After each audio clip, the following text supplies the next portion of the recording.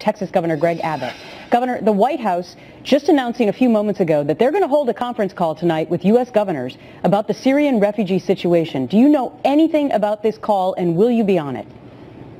Uh, we look forward to speaking with the President's office about this because, uh, as you pointed out, more than half of the governors of the United States of America are, are putting the priority uh, on the safety of our fellow citizens as opposed to the President's priority, which is to relocate refugees from Syria. Uh, we are not going to tolerate, we are not going to accept any more refugees from uh, this dangerous zone of Syria into the state of Texas or into these other states uh, until the United States of America can ensure the safety and security.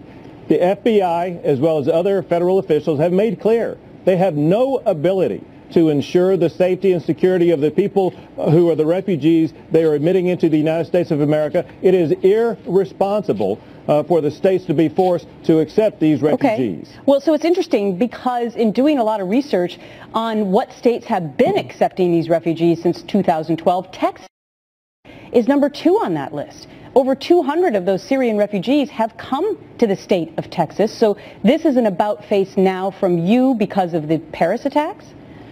Exactly. And, and uh, first, one reason why Texas is frustrated is because uh, Texas has done more than its fair share in accepting refugees. Point one, point two, Texas has done more than its fair share uh, of accepting people that you've seen stream across our border. And we've seen the dangers of this in the state of Texas where we ha we've had three ISIS-related incidents already. And now with the possible connection uh, of one of the Syrian refugees being involved in the terrorism attack in Paris, Texas is saying no more. We will not allow any more Syrian refugees into the state of Texas. Okay, so it's going to be interesting to see how many governors join this call tonight and, and what the White House tries to say because the other interesting point is that it's not all Republican governors. Right now, there are at least three Democratic governors who are also very hesitant about this.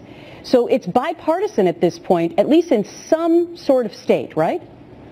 Well, it is both bipartisan and, of course, uh, by the sheer number, it shows that it, it is about 60% of the governors of the United States of America. And so the president should be receiving a very strong message that the American people are against his position on admitting these refugees. And as also, as he pointed out, uh, the Speaker of the United States House of Representatives is calling on the President uh, not to move forward well, on this. Uh, this is a situation where all of America is saying, Mr. President, you right. have this wrong. You have an obligation to keep Americans safe. Well, so, so what would have to change, Governor, for you well, to think that it would be safe for Texans to allow refugees in?